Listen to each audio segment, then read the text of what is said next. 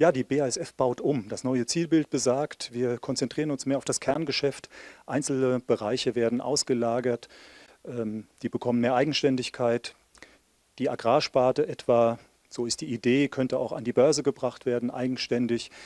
Die Organisationsstruktur soll verschlankt werden und bei äh, neuen Projekten will die BASF bei Zukunftstechnologien etwas vorsichtiger vorangehen, um Risiken zu vermeiden. Und natürlich, es soll am Stammwerk in Ludwigshafen gespart werden.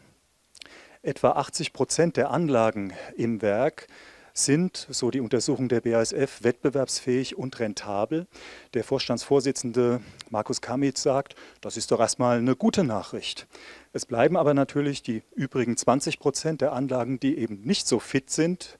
Und äh, bei denen schließt auch äh, Katja Scharpwinkel im Vorstand für den Standort Ludwigshafen und Europa zuständig, weitere Schließung von Anlagen nicht aus. Und das wird dann garantiert auch mit einem Wegfall von Arbeitsplätzen verbunden sein. Es bleibt also ungemütlich am Stammsitz.